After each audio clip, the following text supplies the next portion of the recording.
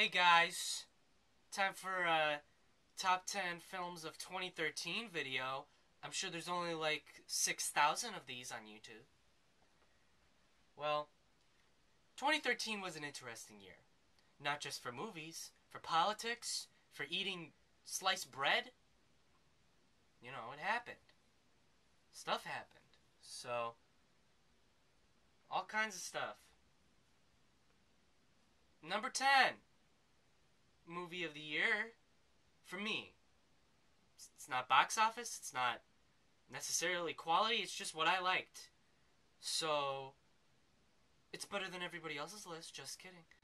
Number 10, Monsters University.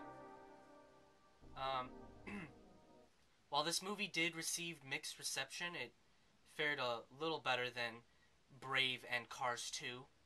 Uh, Monsters University was pretty awesome. A, uh, a good prequel, which there's only like a handful of those, so that's good. Uh, it's better than The Phantom Menace. It's not really saying much, but uh, uh, it was a pretty good prequel. Didn't make me cry like Monsters Inc., but basically you get to discover the origin of Mike and Sully's friendship. So, so you got that. Number nine, The Hunger Games. Catch on fire or catching fire. I don't even care. So basically, this movie was about I think I, it was about as good as the first one. Some people said it was a little better. It was maybe a little better. Uh, but then there was this character Finnick who reminded me of Aquaman. Therefore, better than the first. That was it. That was that was my favorite part of this movie. Was was uh, freaking Aquaman. I mean, Katniss is awesome as always, but my favorite new part, Aquaman, or, or Finnick. Uh, uh, number eight, Iron Man three. One of the most controversial and polarizing movies of the year. Ooh. Iron Man 3 is freaking awesome. I wasn't the biggest fan of the twist, but it was freaking awesome anyway, okay? People were freaking out about stupid stuff. Basically, Robert Downey Jr. is charming as always.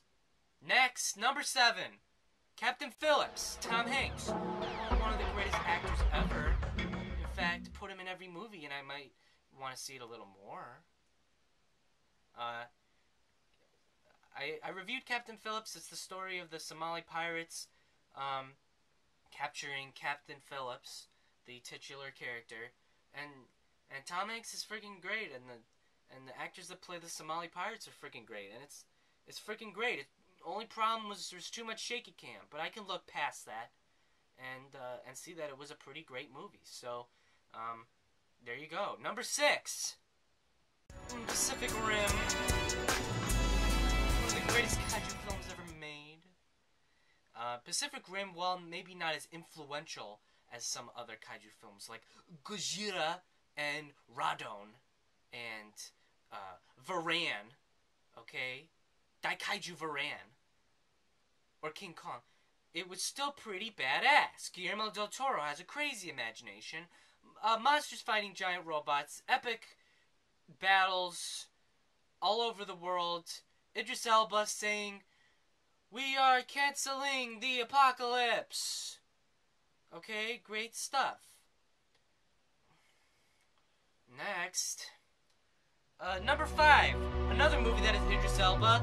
Thor the Dark World. We are canceling Ragnarok. Okay? Uh, Thor the Dark World um, got mixed reviews. I thought it was pretty uh, badass. Uh, Thor is back, you know, uh, my favorite Avenger, uh, doing his Norse god business in Asgard. Then he comes to Earth and does some Earth business.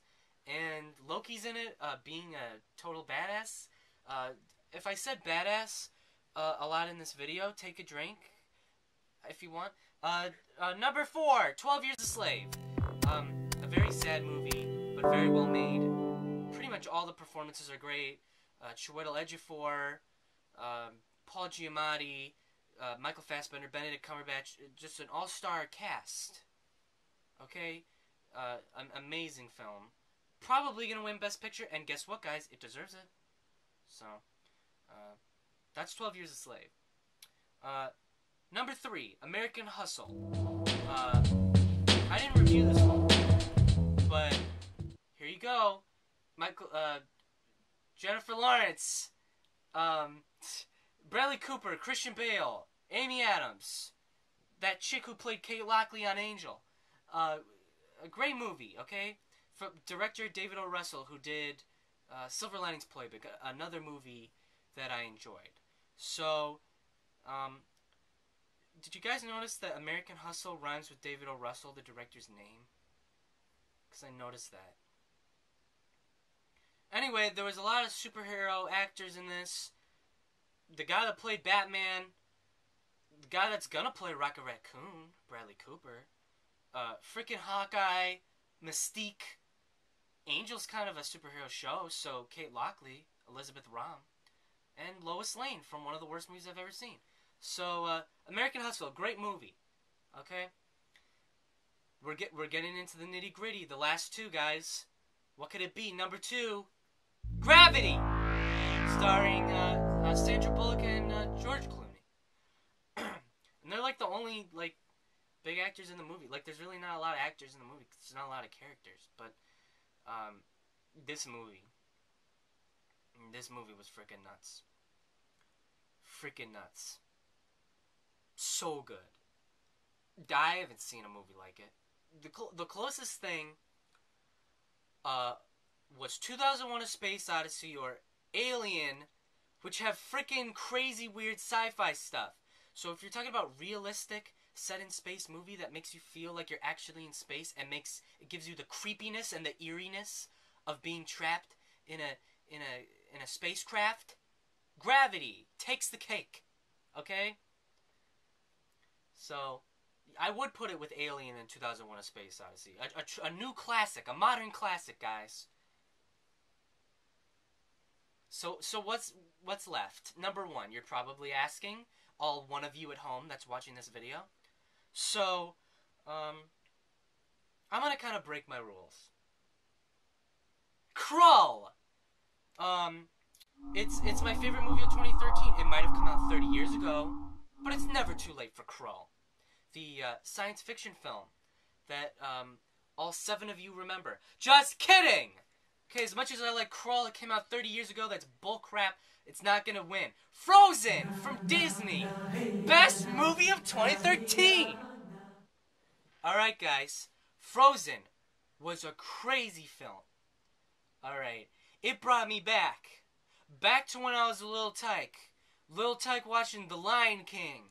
And I was like, yeah, Hakuna Matata. And I'm like, now, yeah, do you want to build a snowman?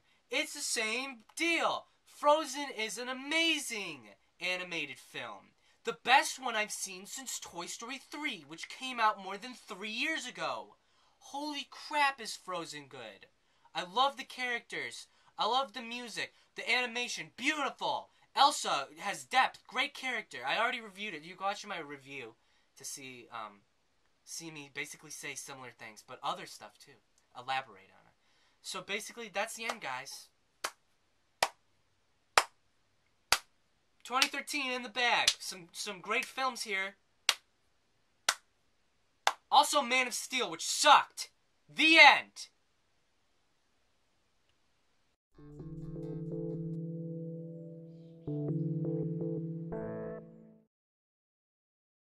uh, Frozen? Will you marry me? I mean, take this Oscar for being such a great film. Nah, I think it's inevitable it's gonna win Best Animated Feature. No, but I hope it's nominated for Best Picture go, too. I'm not greedy. Here, Here! Tigers!